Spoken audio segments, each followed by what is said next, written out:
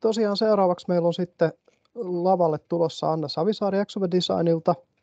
Ja tulee sitten puhumaan, puhumaan designin roolista myös, myös tässä, eli softan kehitys on pitkä prosessi ja siinä liittyy monta asiaa, että etenkin käyttäjien huomioottaminen ja kaikki osallistaminen on, se on tärkeä osa sosiaalista kestävyyttä. Eli siitä tulee tässä, tässä osiossa sitten pätkä. Ja myös Jaria haluan kompata vielä tähän nopeasti sen verran, että Simon sinnekin kannattaa tutustua. Start with the Why ja Infinite Game on sellaiset kirjat, mitkä on todella hyviä. Mutta Anna, ole hyvä. Kiitos, kiitos. Tuolta oletan, että slaidi näkyy ja minä Kyllä, kuulun. Kyllä. Loistavaa. Öm, no niin, tota, öm, tervehdys kaikille ja kiitos, toi oli tosi mielenkiintoinen, hyviä pointteja ja hyviä tiisereitä ehkä mun mielestä jopa tähän mun osioon Jarilta äsken. Öm, palataan kohta tähän mun otsikkoon, mutta tässä nyt niin kuin samanlaisella ajatuksella tämä sustainability mindset öm, ö, mielessä.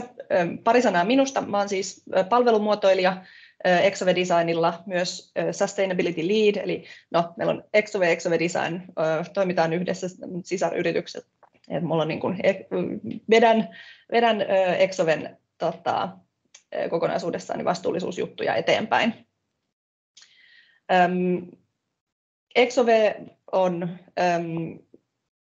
15, 15 ja risat vuotta vanha vanha firma. Meillä on tällä hetkellä on täältä Ruoholahdesta Helsingin toimistolta, meillä on neljä toimistoa. Tota, tällä hetkellä suunnilleen sadan hengen poppoa digitoimisto, jonka tarkoitus on rakentaa kestävää maailmaa ja ehkä tasa-arvoistavaa maailmaa digitalisaation kautta. me ollaan viime vuoden aikana aktiivisesti ja nyt mikä tällä, tänä vuonna niin kun ehkä oikeasti lähtenyt pyörimään, niin ollaan meidän vastuullisuusohjelma pistetty ikään kuin pystyyn järjestäydytty sen ympärille ja kutsutaan sitä vastuullisuuskompassiksi, missä on tuommoisia tuttuja osa-alueita, jos vähänkään vastuullisuus juttuja seuraa, niin sosiaalinen vastuullisuus, mikä äsken, äsken tuli jo Jarilta esille tuolta vasemmalta reunalta, sitten toisaalta oikealla reunalla tuo niin kuin ympäristö, ympäristövastuu ja sitten se niin kuin governance-osio tuolla alhaalla meillä niin kuin se, miten, miten sisäisesti, miten firmaa pyöritetään, millaisia asioita siinä otetaan huomioon. No sitten Ylälaidassa on tuolla Sustainable Web Design and Development, mikä on nyt sitten aihe, mistä tässä nimenomaisesti tota, puhun ja, ja tota, nimenomaan siitä niin kuin suunnittelupuolesta. Öm, ajatuksena tämä lähti siitä, että, että nyt kun puhutaan tavallaan softan suunnittelusta, niin se lähtee meilläkin liikenteeseen, on varmasti tutun näköinen formaatti monelle niin kuin käyttäjätarinoita, mitä sitten Jiraan ladataan. Niin tämä oli ehkä sellainen ajatus, mitä mä totesin, että, että tällaista käyttäjätarinaa mä en muista koskaan aiemmin nähneeni.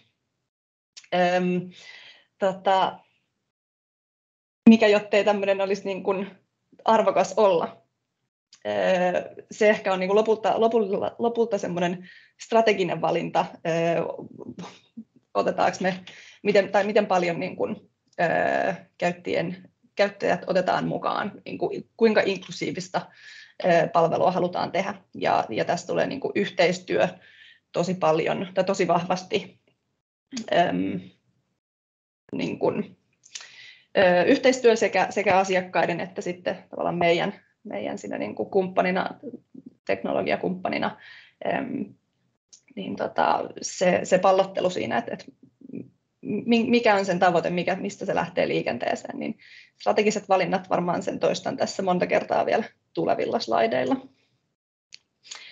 Öm, pieni ajatus herättely tähän, että ketä ne käyttäjät on. Että mulla niin kuin tietysti palvelumuotoilijana mun ö, mielessä on aina, aina se niin kuin loppukäyttäjä, joka haluaa tulla kohdatuksi, kun se sitä palvelua, palvelua käyttää.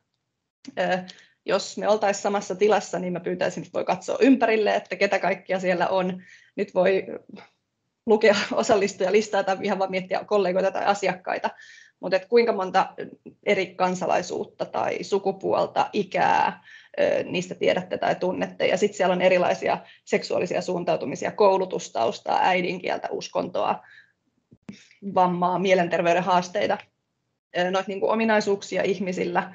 Ihmisillä on niin, kuin niin paljon erilaisia ja jokainen tietysti käyttää niitä omista lähtökohdistaan, tulkitsee ja arvioi palveluita sen oman, oman niin kuin kokemuksen perusteella.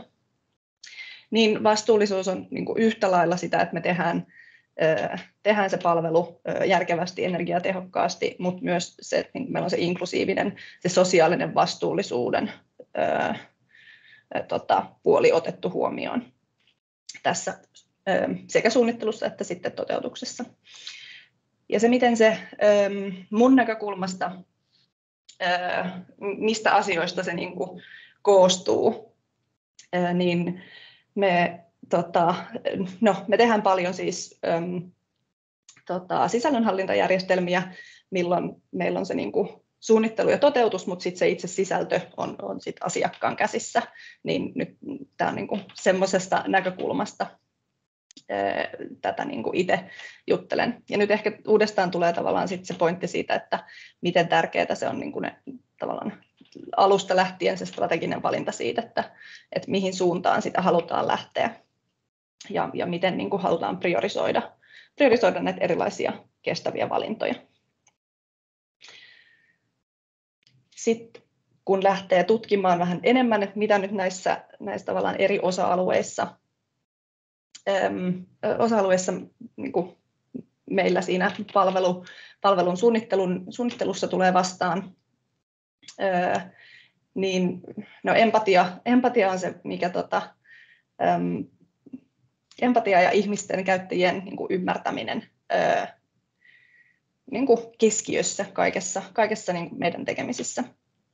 Ja, ja siellä on niitä omia piirteitä, omia ominaisuuksia, elämänkokemuksia, mitkä väistämättä luo jonkunlaisia vinoutumia, omia no, bias eli vinouma.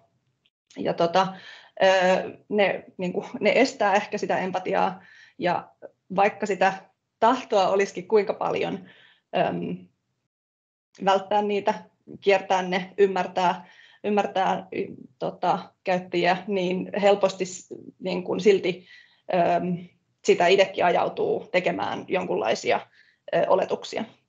Niin yhtenä ohjeena sit, ohjenuorana aina on, että äm, halutaan ä, välttää, ne, välttää ne oletukset ja, tota, ja tehdä kuitenkin niin kuin käyttäjälähtöisesti. Ja sitten siinä on apuna meillä erilaisia palvelumuotoilun menetelmiä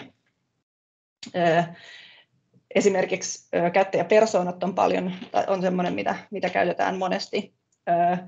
Ja nyt sitten ollaan niin kehitetty koko ajan itsekin siinä, että miten me otetaan huomioon diversiteetti ja, ja niin kuin, tehdään, tehdään niistä, niistä persoonista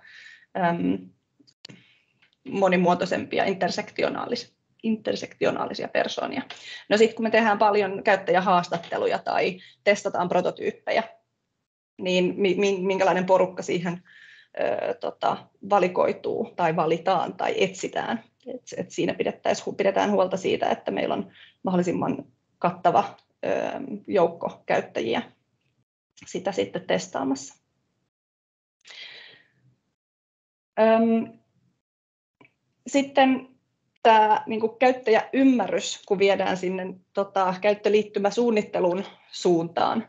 Toki näin on niin, että ensin ymmärretään ja sitten tehdään se käyttöliittymä ja sitten koodataan kaikki. Me varmaan tiedetään, että miten niin kuin lomittain, lomittain tota, ö, nämä tavallaan eri, eri osa-alueet ö, kehityksessä menee, mutta että nyt sitten jollain tavalla kuitenkin pitää miettiä ja tehdä niitä valintoja, että miten me otetaan sitten siinä käyttöliittymäsuunnittelussa huomioon käyttäjien tarpeet, miten käyttäjät otetaan, otetaan siellä huomioon.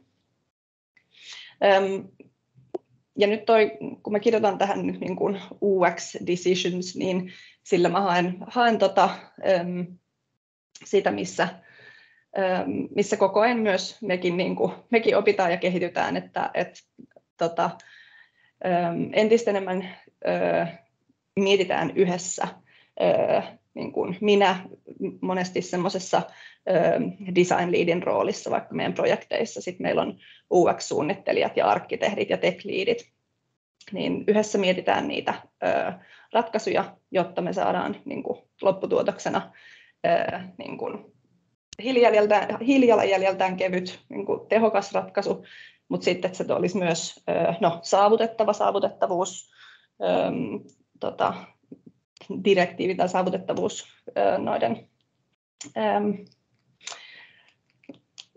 mikä se sana on, no, saavutetta, tehdään saavutettavaa palvelua, niin, tota, niin se on iso, iso, tota, silloin iso vaikutus inklusiivisuuteen, mutta sitten tulee muutamia muita pointteja myös, mitä, mitä niin kuin inklusiivisuuteen kuuluu. Öö, mitä on niin kuin paljon näitä asioita, mitä tässäkin nyt tulee esiin, niin ollaan, on niin kuin aikojen saatossa tehty, mutta nyt niitä niin kuin, koko ajan tunnistetaan ja tiedostetaan entistä paremmin, että minkälaisia placeholder-kuvia me laitetaan leiskoihin ja, ja näihin prototyyppeihin, minkälaisia niin kuin kielivalintoja meillä on siellä UX-kirjoittamisessa, minkälaisia persoonapronomia me käytetään vai vältetäänkö me, jos on, jos on tilanne, että esimerkiksi niin kuin on lää, suunnitellaan vaikka lääkäriajanvarausta.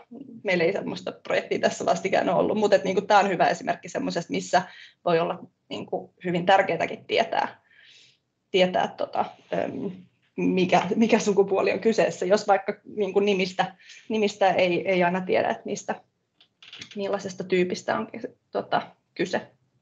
Mutta nämä niin kuin, tiedostaminen on ehkä se niin kuin avainsana näissä kaikissa, että, että että pidetään, pidetään huoli siitä, että ymmärretään ne, se oma lähtökohta, mutta sit myös, myös muiden lähtökohdat.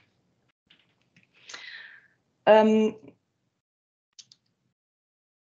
sitten tota, tässä on nyt lainattu tuommoisesta Sustainable Web Design-kirjasta muutamia juttuja. Uppoo sekä tota, koodin, koodin että myös sit niinku käyttöliittymäsuunnittelun puolelle ja näistäkin, tässä on paljon asioita, mitä on niin kuin pitkään tehty ja, ja mihin niin kuin on, ollaan aina ö, tota, meilläkin kiinnitetty huomiota. Ja, ja paljon näistä menee ehkä semmoiseen myös niin kuin, niin kuin laadukkaan ö, palvelun tekemisen kategoriaan, että, että niin kuin myös paljon semmoisia no-brainereita. Ja mä nyt en näitä ihan jokaista käy läpi, että suosittelen tutustumaan kirjaan itse mutta tälläkin sitten ähm, semmoisia valintoja ehkä nimenomaan on täällä niin kuin, um, spacing for wow effect instead of images. Äh, tämmöisiä valintoja on ne, mitä joutuu, joutuu tai pääsee keskustelemaan sitten asiakkaan tuoteomistajan kanssa. Tehdäänkö me visuaalisesti näyttävää, missä on video ja kauniita, raikkaita, kirkkaita värejä ja paljon, äh, vai tehdäänkö me jotain vähän yksinkertaisempaa, yksinkertainen tota, esimerkki, mutta sitten kun se lähtee skaalautumaan ö, käyttäjien mukaan, niin, niin vaikutuksetkin sitten siitä kasvaa. Ö, no sitten ö, ollaan päästy tota, suunnitteluvaiheessa, me ollaan jo pidemmällä, vaikka kuinka me ollaan niin kuin suunniteltu, toteutettu ö, kestävä palvelu, niin sit se voi olla sisältö ja sen niin kuin huono, huono suunnittelu, mikä, sitä, mikä sen sit homman kaataa. Niin sivusto voi olla raskas, millaisilla laitteilla sitä käytetään, ja, tota, ja se niin kuin, kuka sitä sisältöä sinne tuottaa, kuka siitä on vastuussa, niin se on, ne on niin kuin kysymyksiä, joita koitetaan myös nyt sit niin kuin aktiivisella keskustelulla ja ää, tota, niillä, edelleen niillä valinnoilla niin, tota, kommunikoida ää, asiakkaiden kanssa. vältetään sitä, että ei, ei, me ei haluta, että ö, tulee semmoista rikkinäinen puhelinefektiä. Kaikki, niin kun, kaikki se ymmärrys, mitä me ollaan käyttäjistä kerätty, ne päätökset, mitä me ollaan tehty käyttöliittymän suhteen, niin sen pitäisi niin syöttää ja tukea sitä sisällön tuotantoa, sitä sisällön suunnittelua taas kestävään suuntaan. Me halutaan, halutaan tukea siinä, että me noi, tota, asiakkaat pystyy ja osaa, osaa tuottaa ja ylläpitää niin sisältöä saavutettavien, saavutettavasti. Ja, ja myös sit ottaa niin kuin inklusiivisuuden huomioon kuvissa. Sit siinä, että miten sisällöt, tai sisällöt ja se, niin kuin, miten me yhdessä rakennetaan sen palvelun rakenne ja millä tavalla käyttäjät löytää tiensä sinne haluttuun kohtaan mahdollisimman nopeasti tai helposti on ehkä oikea sana.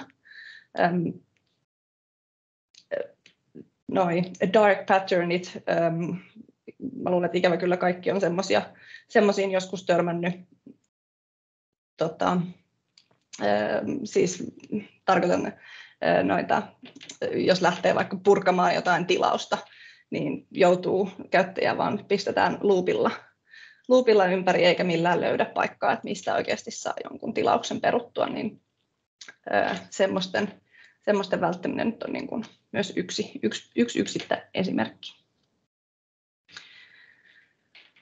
No ihan lopussa on taas niin kuin, mm, kompromisseja, pallottelua siitä, että, että mikä on oikeasti tarvittavaa, kuinka minimaalinen palvelu me halutaan tehdä, jotta se sitten kuitenkin kattaa kaikkien käyttäjien palvelun. Me halutaan niin kuin tehdä sekä sosiaalisesti kestävää että ympäristön kannalta kestävää. Mulla voisi olla tässä melkein samat noin viimeiset sanat, mitä Jarilla tuossa oli, mutta niin kuin me halutaan, halutaan niin kuin vaalia oppimista, me halutaan tota, öö, niin kuin auttaa tunnistamaan kaikkia tunnistamaan sitä, mitä ei tiedä, niitä omia oletuksia, vinoomia. Ja, ja että se ö, kokonaistuotos kohtaa, kohtaa ja osallistaa kaikki. Elämyshakuisuus ja niin kuin tämän ajan ö, mukavuuden haluisuus on ehkä vähän ristiriidassa välillä sen semmoisen digitaalisen minimalismin tai, tai funktionalismin kanssa.